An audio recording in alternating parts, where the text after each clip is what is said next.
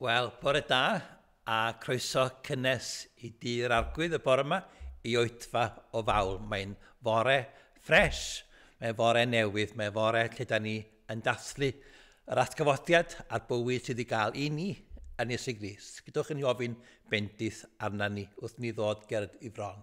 Dan efo diolch i ti am dofod dros nos ac am dy gynhaliaeth, am cael gael deffro bore yma a ceisio dy wyneb di. Nesa ata ni, cnesa'n calon ni, dyrchafa Iesu Grist, y boed i ni brofi yr ysbryd glân yn cael ei dywall arna ni, er dy glod. Amen. Fe dorodd y wawr sancteiddi ar y dydd, emyn 549. A dyma sydd wedi digwydd bore yma, ynddo, fe dorodd y wawr. A da ni am sancteiddio'r dydd. Fe ddryllwyd yr iau, mae'r cadarn yn rhydd. Fe gododd y ceidwad boed moliant i ddiw. Fe goncrwyd marwolaeth. Mae'r Iesu yn fyw. Thank.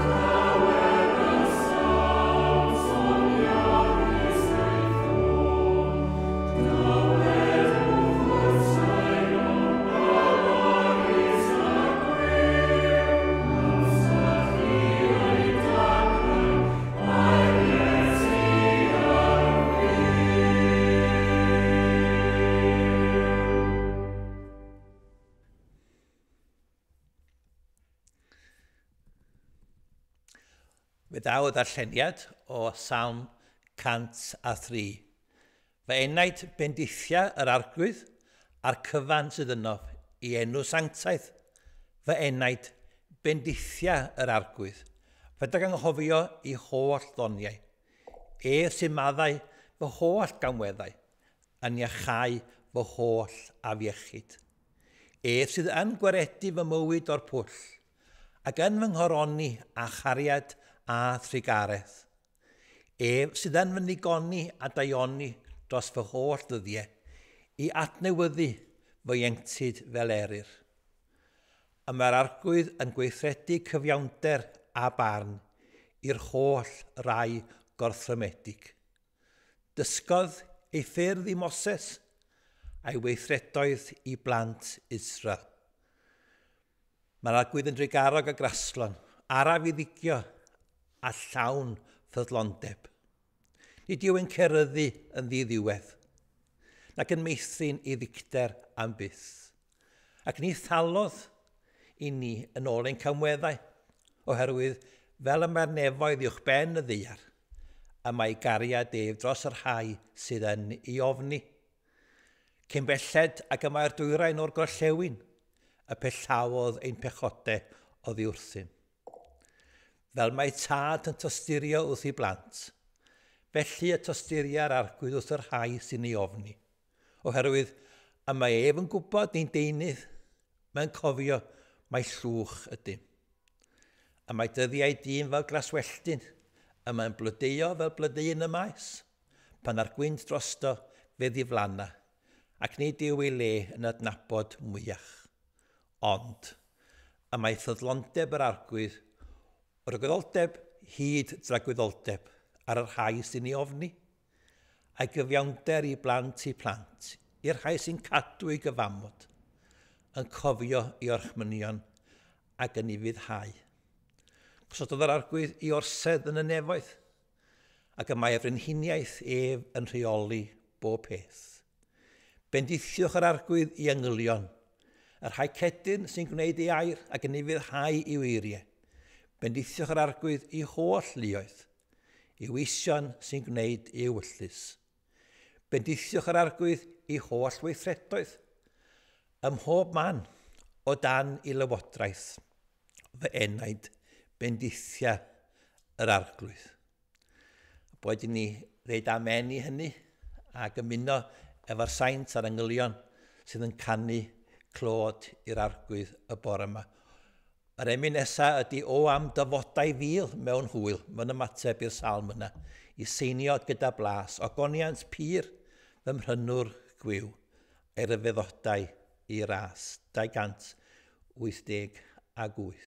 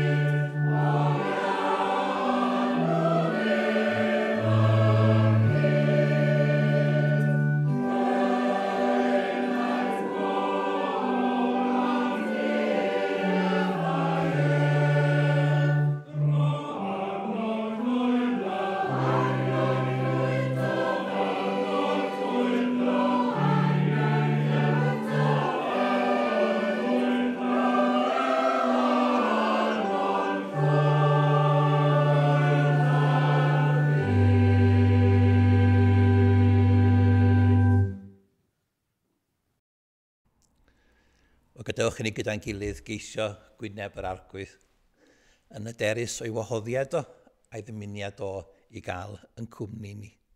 Da efo diolch i ti am y fraint da ni'n cael. Da ni saff yn dy ddwylo di. Da ni yn ganwyll dy lygad di.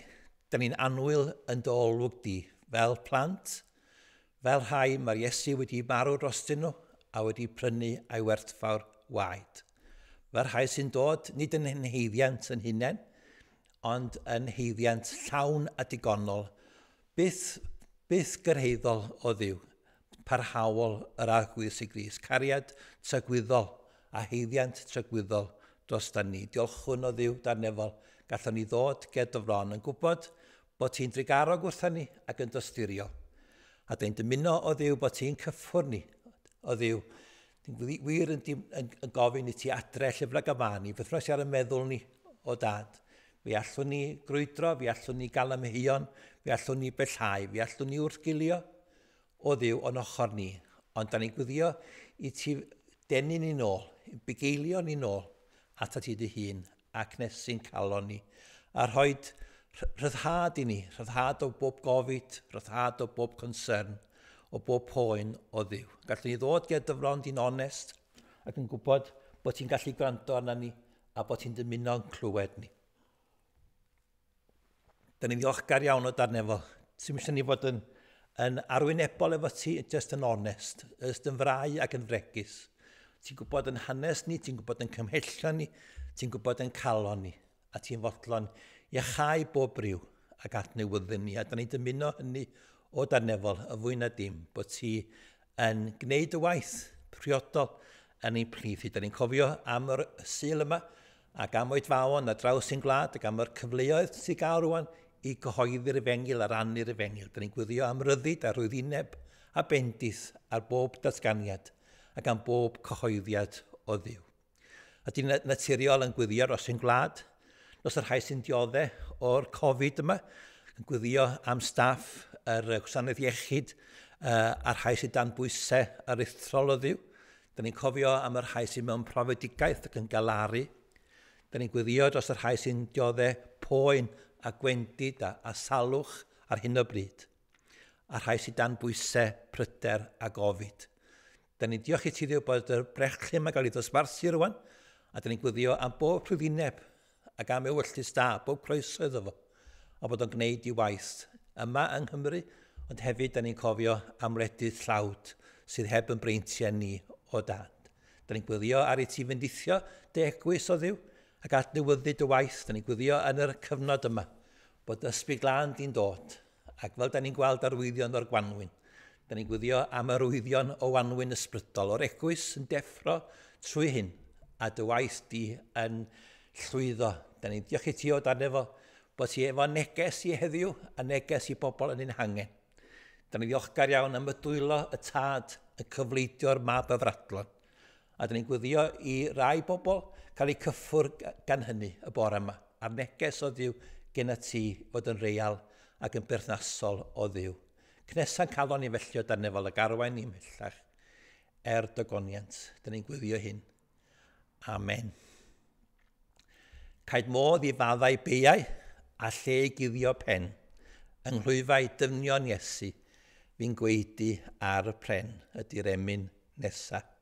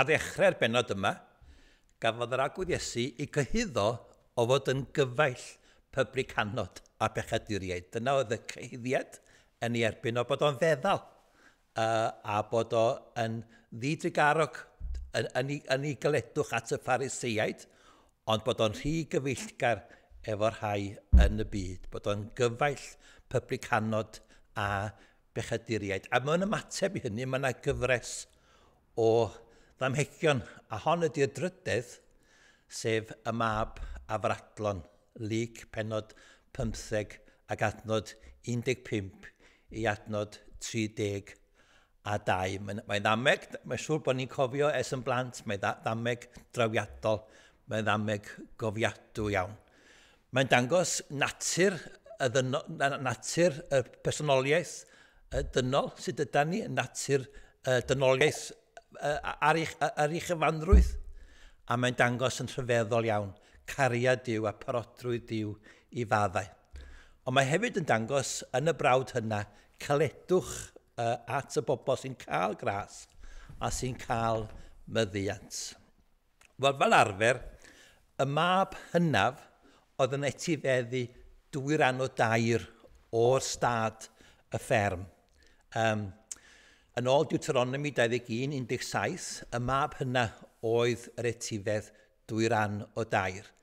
A fydda'r mab ynga, ond yn cael treian ar ôl marwolaeth i dad.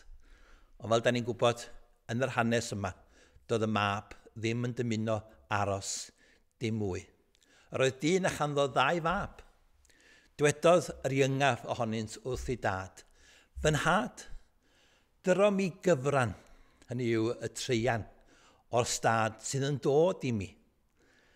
A'r hanodd yn tai eiddo rhyngddynt. Nawr, fel mae unrhyw un yn y byd amaethyddol yn, yn gwybod, mae, mae uh, uh, gwerth uh, y ffarmwr yn y stoc ac yn y tir. Ac oedd gwneud hyn yn disturbance mawr uh, i hanes y ffarm. Oedd ffeindio'r treian yma yn golygu bod o'n tarddu, tarddu ar weinyddiad y ffarm. Oedd o'n golygu bod nhw'n gofod gwerthu stoc ac yn sicr oedd o'n clwyfo ac yn brifo i dad. Ond dyma oedd dymuniad y mab yngaf. Ac um, mae o yn, yn ffoi ychydig ddyddiau'n ddiweddarach wedi newid y cwbl am arian, yn fudodd y mab yngaf i wlad bell Uh, oedd yr iddewon yn gwasgaru, da ni'n clywed am y gair diaspora. Uh, fel oedd Jona, wrth gwrs, wedi, wedi ffoi oddi wrth uh, dymuniad yr argwydd i fynd i, i Nineva. Mae'r mab yma yn ffoi um, i ddymuno drwy cefn ar ei dad ac ar ei, ar ei, ar ei, ei deulu ei hun ac ar ei fro. A mae o'n mynd i wlad bell Mae'n gwestaffu eiddo a mae yn byw yn afradlon. A mae'n gwario'r cyfan. A dyma yna ddau beth tu allan i ddwylo fo yn cymryd lle. Um, newyn yn dod um, a gyntau yn trio bod mewn, yn, yn, yn, yn dechrau bod mewn eisiau.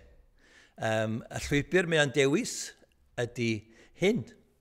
Aeth ac ymlynu un o ddinasoddion y wlad, ac anfonodd hwnnw ef i'w geia i ofalu am ei foch. A dyna chi gwymp ynddo, o fod yn etifedd ffarm i dad, rwan i ofalu am y moch. Yr anifel mwyaf ffiaeth yng ngolwg yr iddewon yn ôl Leviticus 11, uh, oedd o'n wedi selhau ei hun. Um, Bia sy'n falch o wneud pryd o'r, or plisg Oedd y moch yn ei bwyta, ond oedd, nid oedd neb yn cynnig dim iddo. Oedd o wedi mynd i'r gwylod, oedd wedi colli ei freintiau, oedd o wedi gwthryfela ac oedd wedi talu y pris. A dyma fo'n sylweddoli, dwi ar yng dwi'n colli allan fyny. Daeth ato ei hun a dweud, faint o weision cyflog gan, sy'n gan fy nhad, a pob un ohonynt sy'n cael mwy na digon o farch a minnau y marw o newyn. Mae sylweddoli bod o'n gam gwag be mae wedi wneud. Um, fe godaf ac fe af at fy nhad a dweud wrtho fy nhad. Pechais yn erbyn y nef, mae hyn yn wir, da ni'n pechu yn erbyn diw a dynion. Ac yn derbyn di. Dwi ddim yn heiddi fy ngalw'n fab i ti, dwi ddim eisiau'r fraint yn ôl. Dwi ddim yn heiddi bod yn fab i ti Dwi'm yn heiddi cael y stad yn ôl.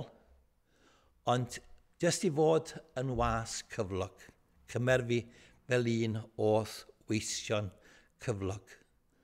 Yna cododd mynd at i dad, a phan oedd eto ymhell i ffwr, gwelodd i dad ef, tostiriodd wrtho, rhedodd ato, rhoes i freichiau am i oddw a'i gysannu, ac meddai ei fab wrtho, fy nhad, pechais yn erbyn y nef ac yn derbyn di. ni dwy fy mwyach yn heiddi fy ngalw yn fab i ti. Ond meddai i dad wrth i weision, brysiwch, dewch a gwisg allan yr orau a'i gosod amdano. Rowch fodrwy ar ei fus a sandalau am ei draed. Dewch ar llo sydd wedi besgu a lladdwch ef Gadewch iddo i ni wledda a llawenhau oherwydd yr oedd hwn fy mab wedi marw. Daeth yn fyw eto, yr oedd ar goll, a chafwyd hyd iddo. Yna dechreuasant wledda yn llawen. A sa chi'n meddwl bydda'r stori'n gorffen y fyna, sa pawb yn apus drost y mab a fradlon. Ond wrth gwrs, mae yna frawd mawr. Um, roedd ei fab hynaf yn y ceia pan esawodd at y tŷ ar ei ffordd adref. Clywodd sŵn cerddoriaeth a dawnsio. Galwodd un o'r gweision ato a gofyn beth oedd yr ystyr hyn. Dyfraw sydd wedi dychwelyd, meddai wrtho, ac er am iddo i gael yn ôl yn holliach, a mae dy dad wedi lladd y llo o wedi i besgu. Digio ddef a gwrthod mynd i mewn. Dath i dad allan a'i gymell yn dair i'r tŷ ond atebodd ef. Yr holl flynyddoedd, hyn bu am y was bach i ti, heb anifidhau erioed i thorchymyn. Ni roddais erioed i mi gymaint am mynd gafr, i mi gael gledda gyda'm cyfeillion. O pan ddychwelodd hwn, dy fab sydd wedi difad iddo gyda pitiniaid, lleddais iddo ef y llo, oedd o wedi besgu oedd yna galedwch yn ei galon teg at yr, y braw bach. Fy mhlentyn, meddai'r tad wrtho. Yr wyt ti bob amser gyda mi, ac yma'r cwbws ei gennyf yn eiddo i ti. Yr oedd rhaid gwledda a llawenhau oherwydd yr oedd hwn, dy frawd, wedi marw, deth yn fyw, yr oedd ar goll, a chafwyd hyd iddo. Dyma hyfrydwch y tad, a boed i ni glywed y tad yn siarad a'r newyddion da yr efengil trwy'r ddameg yma, y bore yma, a cael goleini yr ysbryd glân ar y gair mae wedi ysbrydoli ar ein cyfer ni. Dyma sy'n mae Iesu Gris am i ni feddwl am yn hangen ni, ac am yn agwedd ni, ac am yn ysbryd ni ohono fo fel y gwaredwr. Be da ni'n gweld wrth gwrs yn gyntaf ydy natur gwrthryfelgar y galon ddynol. Um, fe mae plant yn gweld bod nhw am mynd yn annibynnol a'i rieni. Fe mae plant yn meddwl bod nhw yn gwybod y well na'i rieni. Fe mae plant yn dymuno uh, rhyddid um, ac mynd i ffordd i hunain. fel maen nhw ddim eisiau parchu awdurdod. O dyma ydy natur ni yn de, ger bron diw. Dyma ydy'n tuedd ni. Dyma ydy yn osgo ni. Uh, dyma'r gwrthryfel y galon. Uh, Pidio gweld llwybr diw ac safon diw a gofynion diw ydy'r ffordd sydd gorau ar ein cyfernu er ei mwyn ni. Fel doedd y tad ddim eisiau gorfodi'r mab i yngau aros adre, dydy Dyw ddim eisiau gorfodi yn ffyddlondeb ni a'n ymrwymiad ni. Mae gennym ni lwybr allwn ni, allwn ni, allwn ni i ddewis, allwn ni fynd yn ffordd yn hunain, allwn ni droi cefn ar ddiw. Um, dyna ddigwyddodd yn defa addag efa gafon nhw ddewis, fwy tar afal neu beidio, mynd ar nhw wrth ryfela, a mi gollon nhw allan. Mae yna wrth ryfel, mae yna wrthod a awdurdod diw, mae yna wrthod ymostwng i ddiw. A dyma be di llwybr calon uh, y natur ddynol de man gwyn fan draw.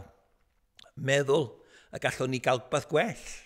bod yna rhywbeth mwy, mwy bras i ni, mwy cyfeithog ar ein cyferni. Chwilio am rhywbeth rhagorach. Meddwl bod i fyddhau i ddiw yn, yn cyfyngu ni ac yn caethiwo ni. Ac, wel, allwn ni drio rhywbeth arall. Allwn ni fynd o'n bro. Allwn ni brofi pethau gwahanol. Cael blas ar wneud yr hyn Da ni'n di arfer wneud a mynd yn ffordd yn hunain. Mae Ezeia yn dweud, troeso'n bawb yw ffordd ei hun.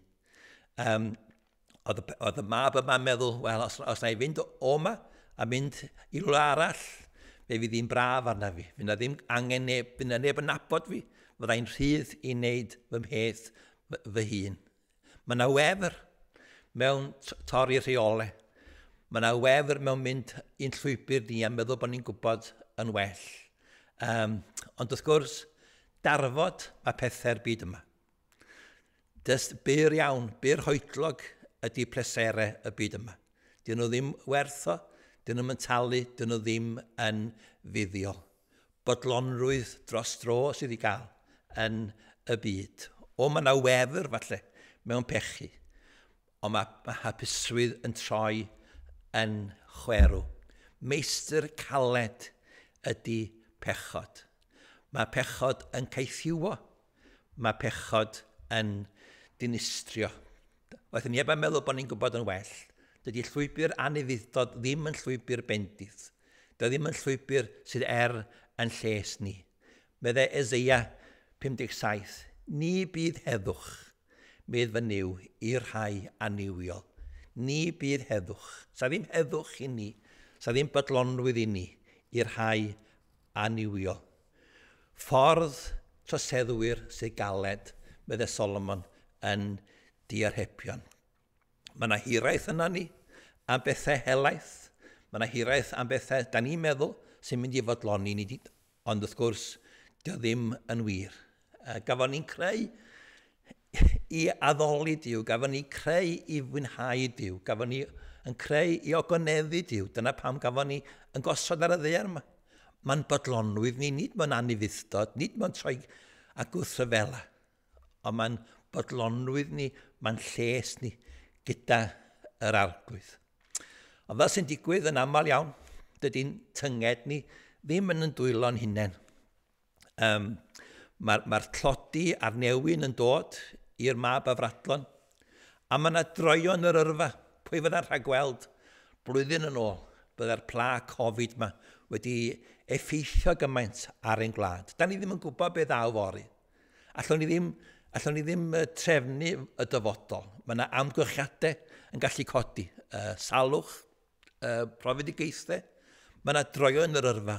Os da ni'n cymryd yn bywyd yn, yn, dwyl, yn hunain ac yn annibynnol, da ni ddim yn gwybod fel oedd y mab yma ddim yn meddwl y bydda fo'n yn, gwerth, yn yn gwario ei holl bres a fydda yna newyn uh, yn dod.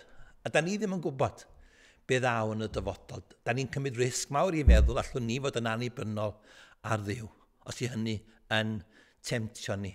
Ac wrth gwrs, fe gafodd o ffrindiau oedd yn dilyn i bres, dim dilyn tyn garwch iddo fo, ond rhai oedd yn gyfforddus yn yn ei gwmni fo ac yn ei arian o.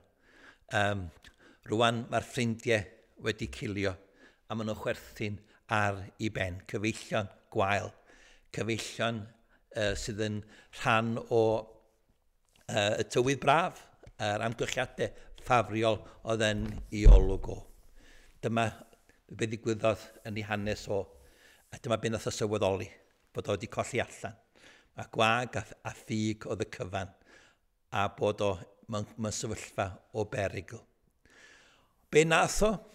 Ond galw ar drigaredd i dad, a mae'n ddarlun o'r ffordd da ni fod, bob un ohono ni fyw ar drigaredd yr arglwydd.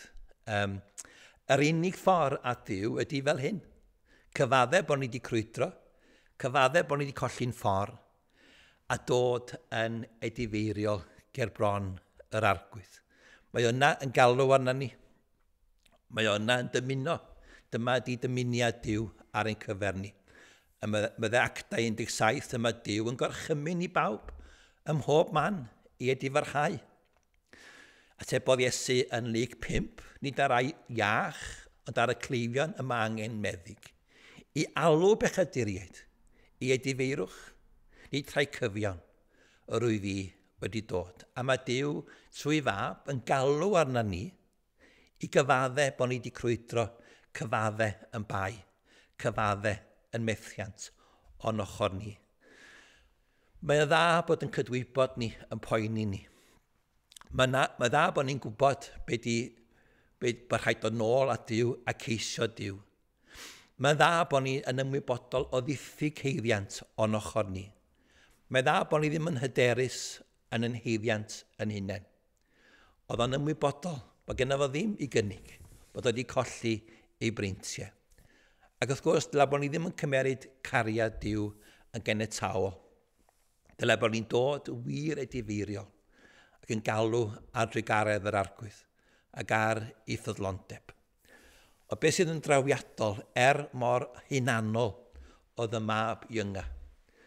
Oedd y croeso gafodd o ac allwn ni byth lawn sylweddoli na gwerthfarogi digon y cariad trygwyddol diw tuag at yr rhai sy'n galw arno fo. Roedd y tad oedd yn caru i fab yn ei wrthryfel. Yr un oedd cariad y tad, dywyll lle oedd y mab, oedd cariad y tad tuag ato fo yn ei wrthryfel ac yn ei, yn ei, yn ei uh, gyflwr Mae Dyw yn caru ni yn, rhyfelio yn, rhyfedd, yn rhyfeddol iawn. Oedd o'n hireithu i'r mab ddod nôl. Oedd o'n yn hireithi am ddychweliad y mab. Mae di caru ni, mae da ni'n clywed yn y ddameg yma, o bell, a cariad, um, cariad ymwybodol. Mae'n ymwybodol o'n drewdod ni, mae'n ymwybodol o'n ffieddra ni, mae'n ymwybodol o'n pechodau ni. Mae cariad Dyw ddim yn cariad ffôl, dy ddim yn gariad diniwed, mae'n yn gariad gwybodus. Doedd ym rhaid i'r mab mae ddeud llawer wrtho fo. Y golwg ar y map, ond oedd y tad yn gwybod i gyflwr o. Nid darganfod yn pechodau ni, dydy pechodau ni ddim yn sioc i ddiw. Mae o'n gwybod y cyfan. Um, yn hyn y dangoswyd cariad Dyw tuag atom ni – bod Dyw wedi anfon ni unig fab i'r byd er mwyn i ni gael bywyd byw trwy ddo ef. Yn hyn yma cariad. Nid yn bod ni'n caru Dyw, da ni ddim wedi gwneud o'n ochr ni. Ond i fod ef wedi'n caru ac wedi anfon i fab i fod yn amerth, aberth cymorth dros ein pechodau. Mae Dyw wedi cymryd cam, mae Dyw wedi ymyryd. Mae Dyw wedi gwneud rhywbeth yn hanes y byd. Yn gwybod bod ni mewn mewn perygl, yn gwybod bod ni'n colli'n ffordd, yn gwybod am yn caledwch ni. Cyn seilio'r byd, fe'n dewisodd yng Nghyst i fod yn sanctaidd ac yn ddifau ger i fron nef mewn cariad. Fe ddylem ni ddiolch i ddiw bob amser amdanoch, meddai Paul. Gyfeillion anwyl gan yr argwydd. Am i ddiw eich dewis chi, bydd yr hau gyntaf i brofi a chydwriaeth oherwydd cyn ei bod fe'i hadnabyddu a'i rhagordeinio i fod yn un ffurf ac yn un wedd a'i fab, fel mae cyntaf yn edig fyddai ef ymhlith pobl lawer. Mae'n llwybr ni yn groes i ddiw yn negyddol, da ni'n colli allan, a mae Dyw wedi gweld rhywbeth yn ei gariad a trwy i fab. Mae wedi gweld modd i glirio'n pechodau ni, i faddau bobau, i'n sancteiddio ni. Mae golwg Dyw llawer mwy cadarnhaol, llawer mwy gobeithiol. Cariad Dyw at bechadur, oherwydd mae Cris eisoes yn yr amser priodol a unain ddim adferth wedi marw dros yr anywio. Gobrin bydd neb yn marw dros un cyfio, Gobr i'n mynd yn marw os i'n cyfio. Efallai cei rhywun yn ddigon dewr i farw dros un da, ond prawf diw o'r cariad sydd ganddo. Teg gatom ni, yw bod Cris wedi marw drosom pan oeddem yn dal yn bechaduriaid. Pan yna ddim potensial, pan yna ddim harddwch, pan yna ddim rhinweddau. Mae'r tad yn caru y mab yn ei wrthryfel. A mae'r tad yn ei gofleidio fo ac yn ei dderbyn o ac yn daslu. Dychweliad y mab. Mae yna groeso cynnes i bechadur ger bron diw a mae diw wedi darparu'r cyfan. Yr hwn, yr hwn yng Nghyris ni wybu beth oedd pechu. Ond gwnaeth diw ef yn un a pecho dros am ni. Er mwyn i ni ddod yn gyfiawnder diw yn ddo ef. Bys genna ni wrth gwrs trwy yr efengil a trwy gariad Dyw wedi darpariaeth digonol ar ein cyferni.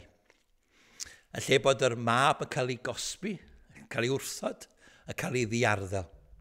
Mae'n gofyn am yr, am yr, am yr, y llo pasgedig. Mae'n gofyn am yr un oedd yn barod i gael ei ladd, oedd yn fras. A mae'n yna berthu hwnna i'r wledd. A mae'n ddarlun, wrth gwrs, o yr hyn mae wedi wneud trwy, trwy Iesu Grist er ein mwyn ni, yr heiddian sy'n dod i ni, a'r cymod sy'n dod i ni drwy yr argwyd Iesu Grist. Allwn ni ddibynnu ar hynny, a ddibynnu ar as diw, a gariad diw trwy yr argwyd Iesu Grist. Um, dyma ydy dyfnder ac effeithiolrwydd ar hyfeddod cariad diw. A mae eisiau ni gael yn llorio, mae eisiau ni cael yn gwefreiddio, mae eisiau ni ryfeddu a Dyw yn caru pechadur, caru un oedd wedi, wedi colli'r breintiau ac wedi gwthryfela yn llwyr. Trwy i fab, iddo fo groesoelio i fab.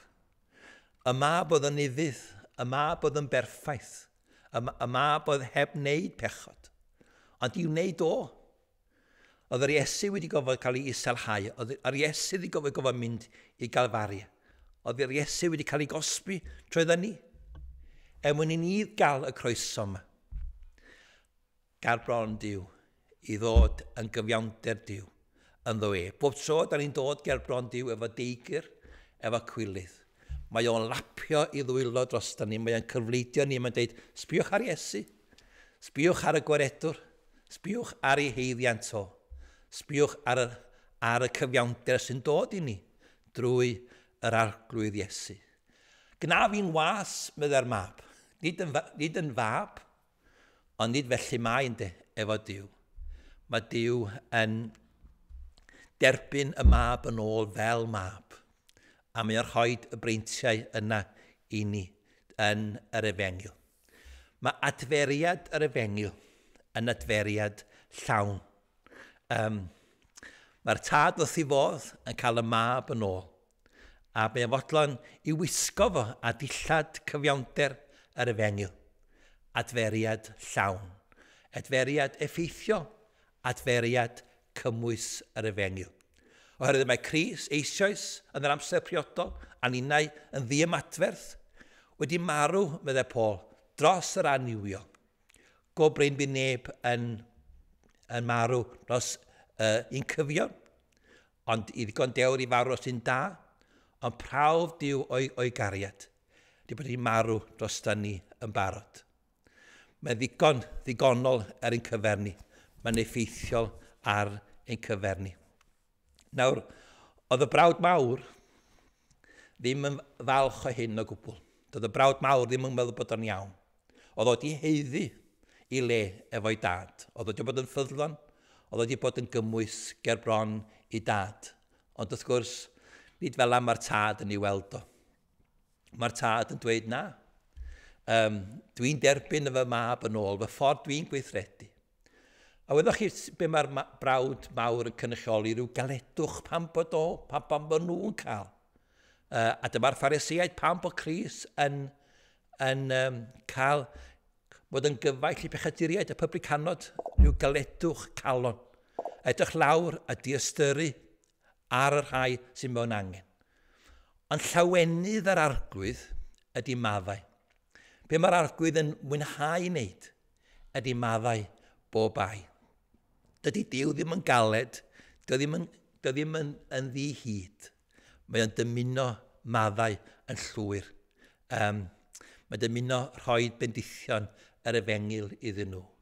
Llawenydd yr argwydd ydy maddau bob bai pa mor gyfeithog yw diw yn ei dregaredd.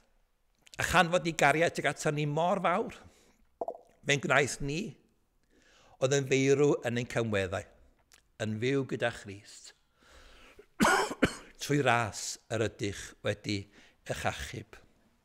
Mae Dyw meddai maicha saith yn hoff ganddo drigaredd. Pa mor gyfeithog yw Dyw yn ei drigaredd. Meddyliwch am y peth bod Dyw yn llawen y bore yma. Pleser Dyw, mwynhad Dyw, gwefr Dyw, ydy maddau i bechaduriaid. A da chi a fi swyl weithiau ddod ato fo, a da ni'n cadw draw. Da chi'n gwneud Dyw yn hapus os da chi'n ei difyrhau, os da chi'n cyffesu. A mae pobl eraill o'n cwmpas ni i fod i glywed hyn. Glywed y neges yma, deheuad. Nid edrych i lawr, nid darnio, nid caledu fe mae'r brawd mawr yn teimlo. Ond mae Dyw am yn ei ddod fel gyda ni. A mae Dyw yn llawen i'n derbyn ni. Ond llawen i'n cyfleidio ni. Ie, meddai Paul, mae o mor gyfeithog yn ei drigaredd. Mae gennaf o'r cariad mawr mae tuag ata ni.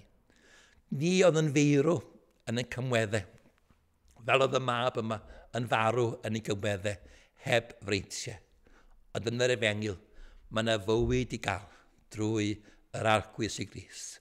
A mae hyn i gyd trwy ras yr ydych wedi cael eich achub. Cyfaill bechaduriaid y pyblyg hanod. Wel, wrth gwrs mod i. Myddai Crist. Da chi'n gweld bai arna fi? Dyma chi'r ddameg sy'n cyfleidio y neges yma, y gobaith yma. Dwi ddim yn sefyll mewn barn ar bobl. Dwi ddim yn galed ac yn troi cefn ar bobl. Dwi yn gwybod am natur fy nhad. A dyma sy'n braf am Isigis. Mae wedi dod lawr o'r ddiar, mae wedi gadael y ddiar yn gwybod am ei dad, yn gwybod am ei natur. o. A mae'n dweud fel hyn mai, fel hyn mai fy nhad, mae o'n cyfleidio pechaduriaid yn ei pechod. A mae wedi trefnu trwyddo fi aberth llawn. A mae Dyw yn maddau bob bai. A bob camwedd yn ei erbyn nhw drwy fy heiddiant i ar galfari. Dyma amddiffyniad Iesu. Doedd ddim yn gallu caledu a gweld bai a pwyntio bus at bobl. Mae'n dymuno maddau a clirio bai. O am i ni gael heddwch bore yma yn yr efengil, ac am i ni cael gwefr o wybod bod, bod, bod Dyw y Tad yn cyfleidio ni, a bod Dyw y Tad yn hapus i gyfleidio ni, ac yn llawen i'n cyfleidio ni yn yr efengil gydwch yn ei wyddio efo'n gilydd. O ddiw, diolch gyd ti am yr, y ddameg yma ac am y neges yma i ni ac am yr efengil ac am y newyddion da. O ddiw, diolch hwn y ti bod dy ddwylod i'n agored i ni bore yma. Ond yn ni ddod efo deigr, deigryn, ond yn ni ddod yn y difeiriol. Ond yn ni ddod yn onest gyda frondi. Bod ti'n cyffwr ni ac yn atfer ni. A bod ni'n teimlo'n saff wedi'n gwisgo a cyfiawnder Christ a heiddiant yr efengil. Dyro ni lawenydd o ddiw a dyrai eraill gael eu cyfleitio, dyrai eraill dychwelyd o'i oferedd, bod i bobl weld trwy bechod, bod i weld, bobl weld mae'r llwybr gwael ydi pechod, dod nôl at y tŷ a cael profi dy ras di o ddiw. Trwy'r hawdd ni bore yma felly, er dy goniant. Amen.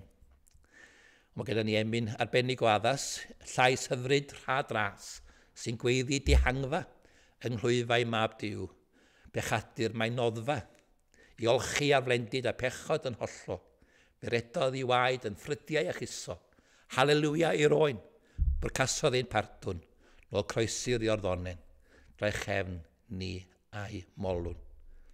Emyn 5, 3, dim. Thank you.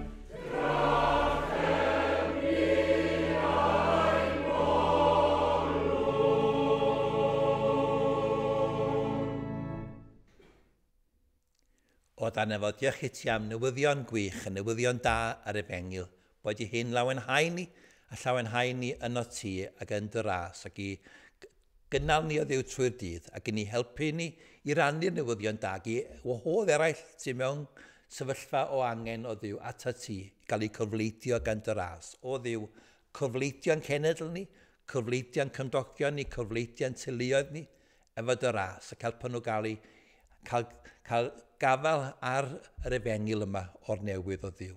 Bendithiau'r efengil, llwydda'r efengil. A boed i lawer o bobl, peidio caledu mewn barn, ond i cael ei toddi gan dy ras di a dy gariad di yn Iesu Grist. Er dygoniant. Amen.